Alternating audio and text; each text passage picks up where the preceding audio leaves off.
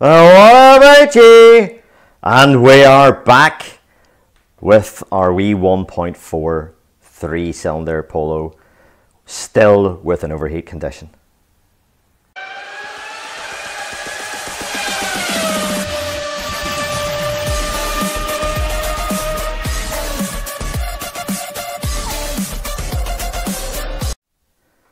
And yes, we have a comeback.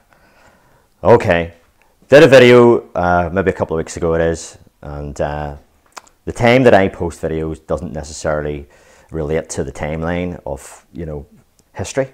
So we did a thermostat on this uh, Volkswagen Polo uh, 1.43 cylinder TDI common rail, and the customer complaint was an overheat condition. So we tested everything, and if you watch that video, I'll put a link in the description. And came to the conclusion: yes, this thermostat doesn't appear to be opening now. It's pretty hard to test, and we did put it in a pan of water, and the pin seemed to be retracting, you know, maybe a wee bit too easily than I sort of liked. But it was a bit of a, a rubbish design, I thought. But anyway, it's now more intermittent than what it was. The customer is telling me, or the owner is telling me, that they took the car, uh, generally speaking, for driving about, it gets up to temperature and it seems to hold the temperature no problem.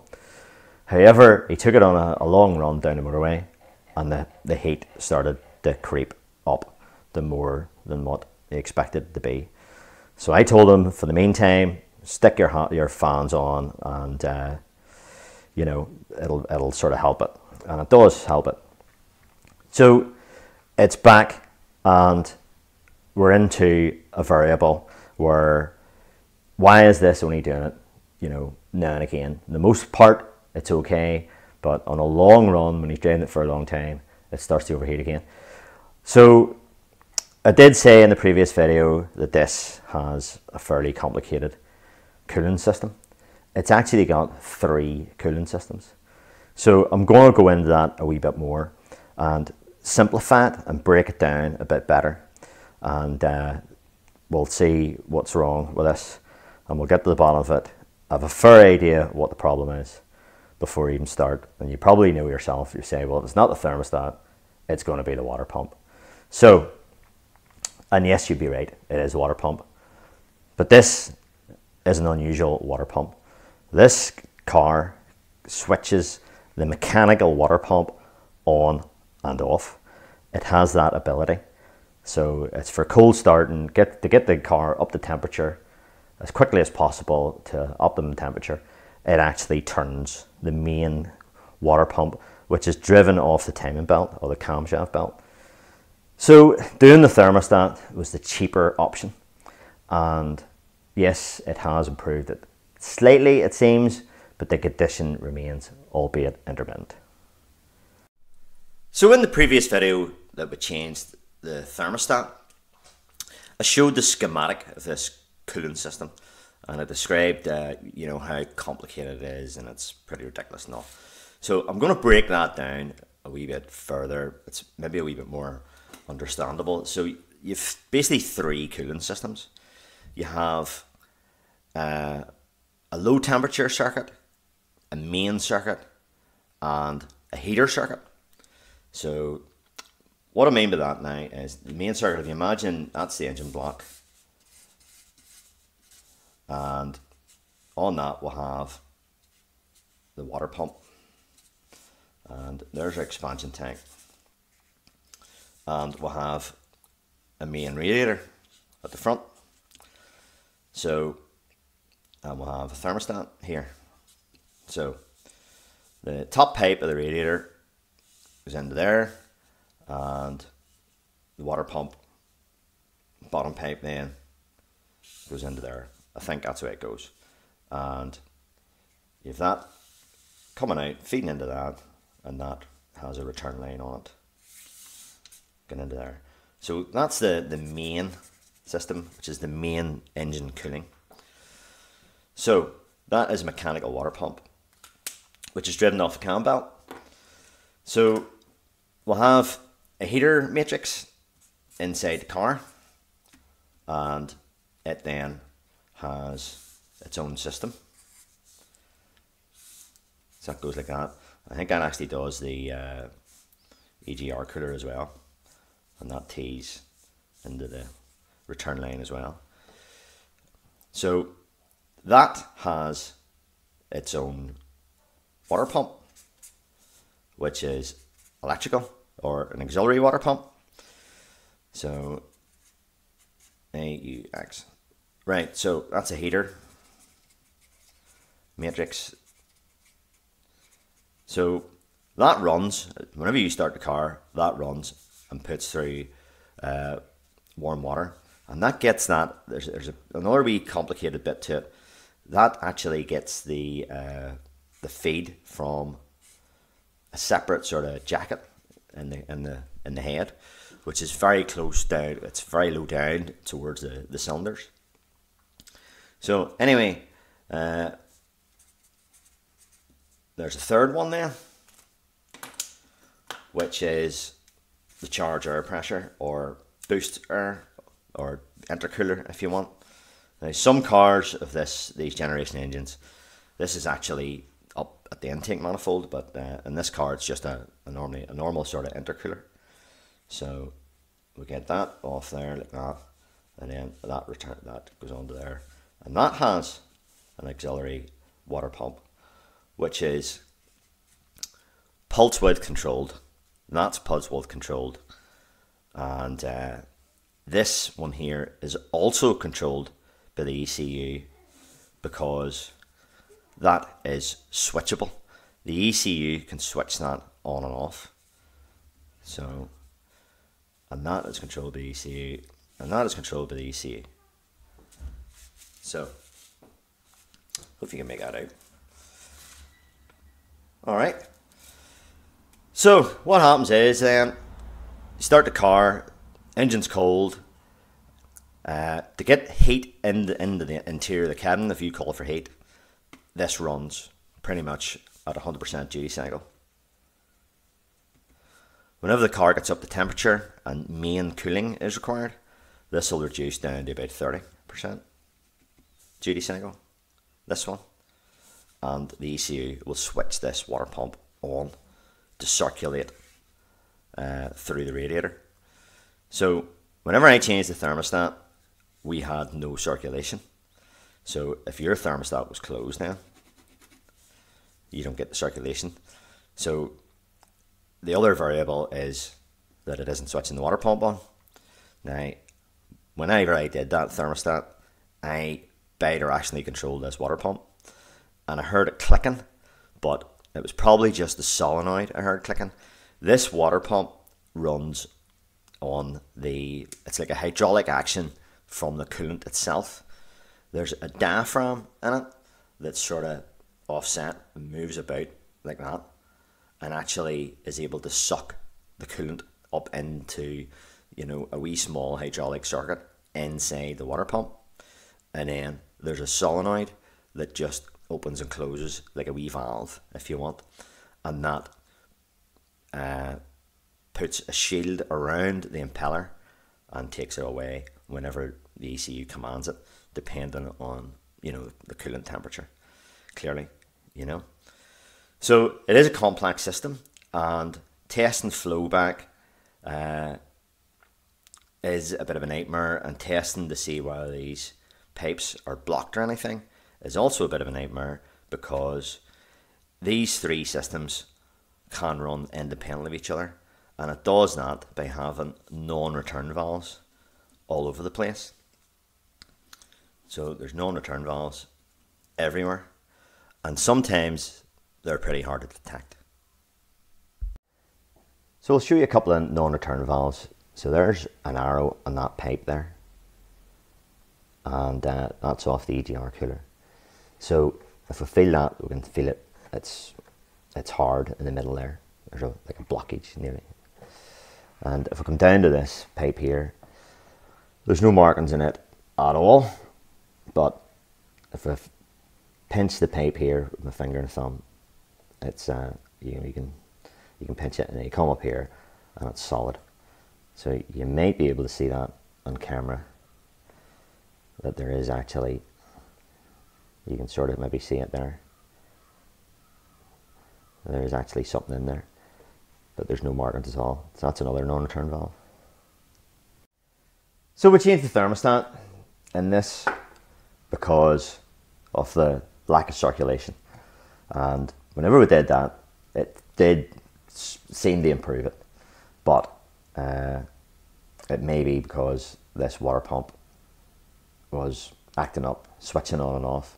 Now, you could get no circulation with an ordinary type non-switchable pump if your impeller has uh, uh, came apart from the, you know, the, the drive, if there's no drive in the impeller. So that's, that's another variable. This car, however, has 50 odd thousand miles on it, and I wouldn't expect that to be the case uh, with such a low mileage. So that's the thermostat there that we replaced. So the cheaper option and the easier option was to do the thermostat because here's what you have to do to change the water pump. I'll just show you a clip of that now.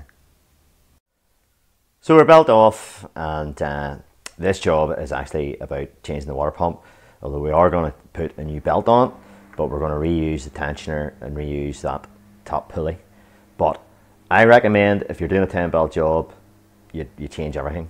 Water pump that and that so this car has about 50,000 miles on but the reason why we're doing this is to change the water pump. So three triple square bolts of them removed and I just let her I just pulled her off and I just let her drip so it wasn't stuck on uh, or anything which is a bit unusual uh, it just wiggled off from my hand. So what I'm going to show you now is there's a wire on the back of that water pump. So that water pump won't just come off and there's a wire down here and you can see if the intake tube removed and that connector goes onto the back of the water pump. So I'm going to just unclip that and then that'll release the water pump. On this particular one, the wire is at the back, so I've had to take an intake tube off and the airbox out, which is a bit of a pain. On the 1.6s and the 2 litres, depending on your engine, that wire is actually at the front here, so uh, it's a lot more accessible and you don't have to go into the back side of it. Breaking news! News just in, we interrupt this broadcast to bring you some more information and that's what this channel is all about is sharing information so I'm in the middle of uh, shooting a video uh, about how to take off this time belt how to change this time belt but it's it's really to, to, pull this water pump off and have a look at it so I'm going to show you uh, a couple of comments this is an original video about the overheat and where we changed the thermostat in this car uh, originally. So there's a few comments here. If I can scroll down the comments and get you into focus there. Great info, Dave. Uh, you hardly had a pint of milk there or something. Uh, that's the best what about you yet. Oh, and the video's okay. All right. Okay. Dead on. Colin. There's Jeremy and Reverend Jum says, Too much, what about you? All right. Okay. What did I say? Or sure, that's the best bit, Reverend. Okay, Reverend. I know you're a man on the cloth, but uh, you know you need to learn it a wee bit. So anyway, EP82 Chris. So take it your name is Chris. Chris, and uh, did this car come back out of interest? Pretty common for the water pump to be the issue in these. Diverter shield sticks intermittently. There is even a VW tech note. I replaced one today for this issue. Oh yeah, right. There we are now. Uh, yep, doing it now, Chris. Video to come soon. So that was nine hours ago, and that's when I sort of started this job. Uh, I haven't taken nine hours to do it, but I've, I've just done it over a couple of days. So a couple of hours ago, then he replies back, "Nice job. Good to see your honesty too. I work in taxis, mostly Skodas on this issue. Unbelievable common on the 2 litres and the 1.6 VAG engines. So much so we have stopped using the pumps with the diverters in there. Keep up the good work, man. There we go. Unbelievably common. Oh, I, Chris, needs to be shared. This is an hour ago. Uh, 57 minutes ago. Uh, obviously, whenever you see this video, the timeline will change. You'll not see this video for a lot of days, maybe even a week or something. So he replies back, Do you want a copy of the tech note, buddy? And I reply back with email address. So, unbelievably common, and they've stopped using the pumps with the valves. Well, that's what I'm going to be doing as well. So, uh, if we get that tech note through from Chris there, I'll uh, we'll add that on the edit video and see what it says. So, I think I found the problem. This is the offending article, the water pump with this electrical connection. This is uh, the solenoid that turns this pump on and off. So this is uh, known as the diverter plate. And what that does is that pops back. So the water pump can uh, whenever the computer turns the water pump on. So this is stuck in the on position. So there's the impeller spinning. So the water pump's working in a normal manner. And uh, yeah it's not creating any flow because the impeller is closed off. So what to do? There's a couple of things we could do here. Um, well we've already decided what we're going to do but so there's the part number 04B121011 with a D on it. And uh, what we'll have here is a wee note to say the original is a D and SS uh, superseded to a G. So they have uh, changed these as they went along, but uh, as far as I know, Volkswagen still are supplying this style. But in the aftermarket, uh, we'll bring this one in, and this is the one we're going to put on. So that mechanism isn't there, and it's just got an impeller. All the aftermarket ones that I can find have a metal impeller as opposed to plastic one. And where the solenoid goes in, it's just blanked off there. So you don't have that sort of pipe there. So the way this works is it actually works with the coolant. The coolant is uh, allowed to enter in here and uh, so it creates a it's like a hydraulic mechanism and then this solenoid switches that on and off and allows that to return in so there's a few uh, Sprama things in there and a few other things in this mechanism. So we may try and see if we can get this actuating. So one uh, other thing you, you could do, I don't really recommend that, is you just basically cut this plate off. So you, you run a grinder around there and, and take that sleeve off and uh, pop it back in again. But what we're going to do here is we're going to remove this solenoid with that wee Torx screw and swap that over onto there. The solenoid is going to do nothing, but it'll keep the ECU happy because if that was disconnected, it would flag a flag a fault. So that's what we're going to do, and uh, there we are. Yeah, that's the problem. Now there is another variable in this. I know, although I was happy enough that it didn't affect this car. The Golf Mark 7s and that this sort of era of TDI, sometimes they have a bag of silica granules in the expansion tank. Now sometimes it says on the expansion tank MIT silica or something along those lines. So there's there's a bag inside it. It's about that size there, about two inches by two inches, and it's full of silica granules. So what Volkswagen are saying is because the cooling system in these cars is managed, they don't want they uh, they don't want any sort of formation on the sensors, which would give the car the engine management a false sort of reading. So they're putting additional silicate or silica in the coolant because they're saying the modern coolant, the G13 coolant, hasn't got enough silica in it. So they're also saying because of the aluminium components and, and all that are, this prevents a buildup of uh, sort of residue around the aluminium and the and the sensors. So they put this additional silica in it, and you can see, you you you take the cap off, and you can look in and you can see it sort of sloshing about. So when I got this car first, first thing I did was look to see if there was a silica bag in it. And I was happy enough there wasn't. Sometimes it says on the bottle, mit silica or with silica. So, what has been happening? I haven't, uh, fortunately, I haven't came across it yet, but I know about it, and it's worth keeping in the back of your mind if you get these cooling issues with these these cars. That bag can burst, and if the granules get mixed in with the coolant, it turns into like a gel and it blocks everything up. And the first sign of that is it blocks the heater matrix, and you know you have no heat.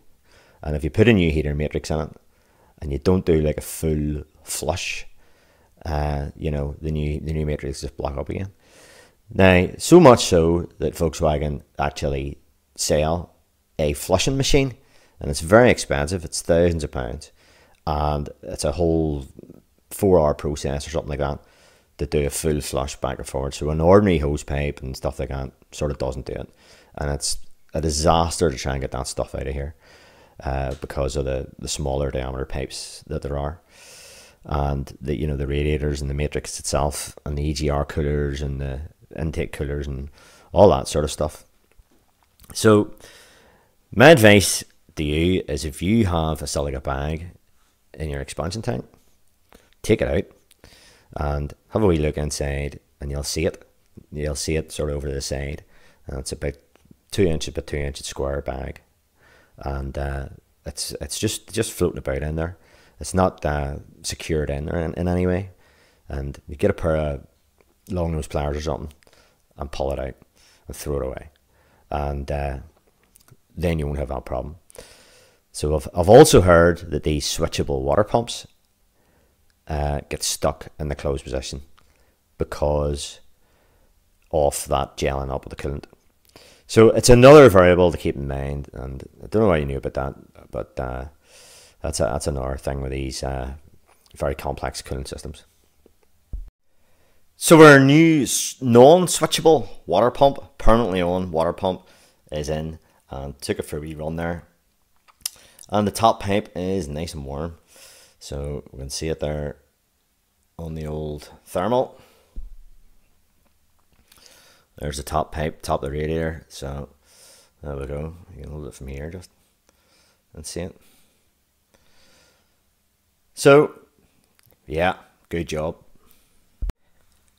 As mentioned earlier in the video, we're in the middle of changing this water pump, and a subscriber popped up in the chat for the original overheat thermostat video, and he says, uh, "There's a tech bulletin for this," and I says, "I'll send it on," and very kindly, he immediately did what he said.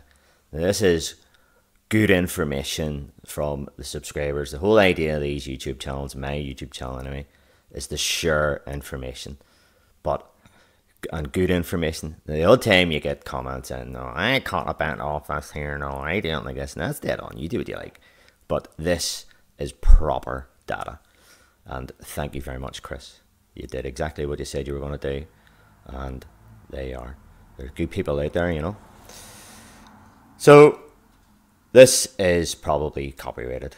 So he sent it from his phone. Look, it's a screenshot, and uh, so that's all them black marks there. So it, it doesn't say who it came from or, uh, you know, where the information came from. But it's yours now. So let me see. You're going you can read this yourself. The coolant warning temperature warning light illuminates. The coolant lever warning light illuminates. Engine temperature warning messages appear on the display. Right, this particular car had none of that. Uh, so, okay. Some cars have a temperature sensor on the EGR cooler, and that's uh, what throws the the uh, engine management light. This car, I don't think I'll ever do that because EGR cooler is on the auxiliary circuit, uh, and it does not have a temperature gauge in the radiator. It just has one in the uh, in the engine. So it wasn't maybe getting bad enough perhaps. But anyway, because it is sort of still winter, it's March time and this is occurring. So maybe in the summertime, I don't know. So symptom, the cool temperature warning light illuminates, that didn't happen. Coolant level warning light illuminates, that didn't happen. Engine temperature warning lights messages appear on the display. Okay, none of those symptoms. The symptom is the car overheats. Uh, cause faulty fuel pump. Solution, check for leaks, and it just says go ahead and change the coolant pump. Now, it doesn't say in this what cars this is applicable to. This is all we have. But uh, this is what he sent me anyway, and uh, out of pure gratitude for that, uh, we're going to share this. Remove the coolant pump, check the coolant pump control valve, which is the wee solenoid that I was waffling on about. You can see on top of the coolant pump. Uh, if the control valve is seized, renew the coolant pump. So that must be referring to the the diverter sleeve that goes over it. So top it up and bleed it and time 2 hours and 50. You will not do that in 2 hours and 50. Well, I can't anyway. Uh, it took me about 5 hours to do that, maybe. So there you go. Proper data, uh, good information. Many thanks to Chris. So this water pump that we took out of the car, it's in closed position because the shield uh, is covering the impeller. So if we look at a few pictures of what it's supposed to look like, we can see the shield is retracted and uh, they're pretty much, that's the way it's supposed to be there. So, okay, so this water pump is switched off. So we'll just have a wee look see. I've taken the solenoid out and put it onto the onto the replacement water pump and uh, we'll just stick a wee bit of air into that and see if we can get this to chooch. So if I have a closer look at this, we can see this wee bar here goes down and there's a hole where the solenoid goes and there's another wee hole there and there's a chamber there as you can see. So as I said the wee diaphragm sucks in the coolant and creates a, a wee mini hydraulic circuit. So we're going to see if we can get this to. Uh, so with, with so if we put a wee bit of pressure, so this is just for a giggle here, you know.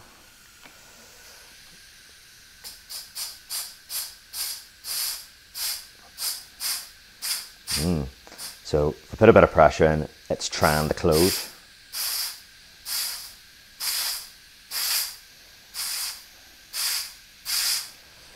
It's just not returning at all. And that is not moving.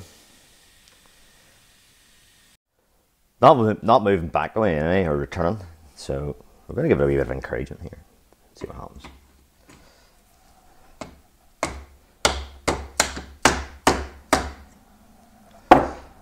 There we go. So it does move. Now we'll see what happens now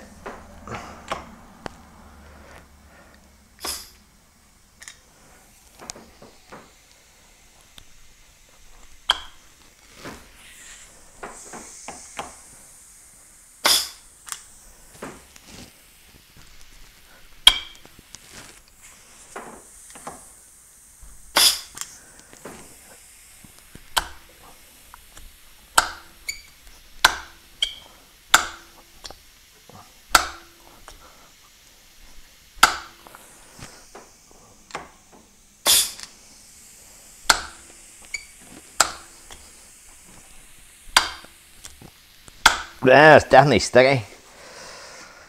So there you go. There's how that works. That's uh, how that switches on and off. Then.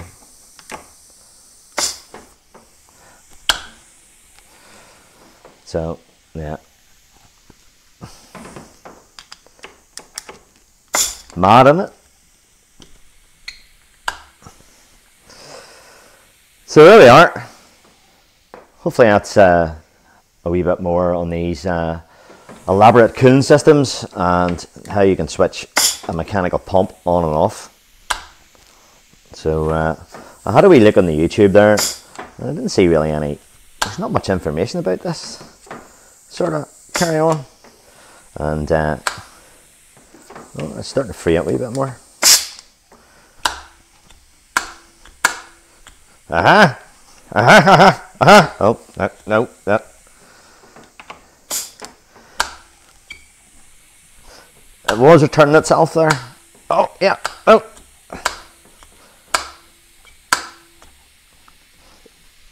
Oh, oh. Maybe give that a wee bit of a score to WD-40. Right, we'll give it a bath of our favourite Panther juice.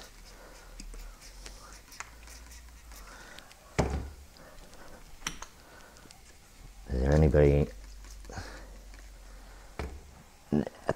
That's not going to make any difference, is it?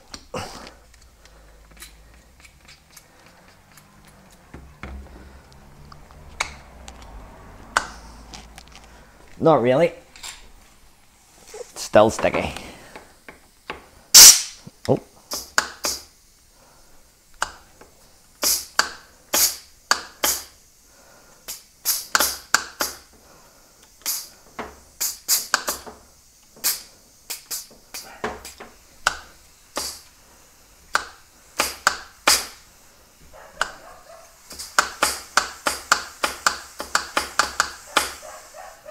Right, well, there's nearly how it's supposed to operate.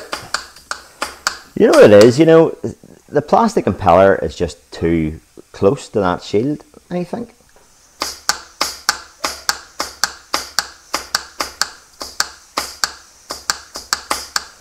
Well, there we go. That's how it's supposed to work. So, anyway, hopefully, uh, give you a wee bit more understanding of what's going on with some of these VAG vehicles. And, uh, oh, Christ, if I can get that in the hole there. Mm-hmm. Why did I do this bench test? I think I have enough to do. There you go, fixed. Well, there's a non-switchable water pump in the car now, and uh, yeah, the owner did have a wee look at the old dreaded forums, you know, and there was some guy on that had replaced his water pump three times, and uh, well, he didn't replace it, you know, he, just, he just got it replaced, maybe under warranty or whatever, and uh, that's why the owner elected to do what he did and just do away with this uh, mechanism and uh, you won't notice any difference at all regarding the, the heating of the car in my opinion because uh, as far as he's concerned the heater circuit will heat his car up just as as, as quickly uh, as, it, as it always did because uh, as I said the, the systems run independently each other because all the non-return valves. So there you go. Uh, Anybody want to buy a water pump? Okay, I that's it. Thanks very much for watching, and uh, hopefully you got something out of that. And uh, all the best as ever, and bye bye. One last chitch. Oh!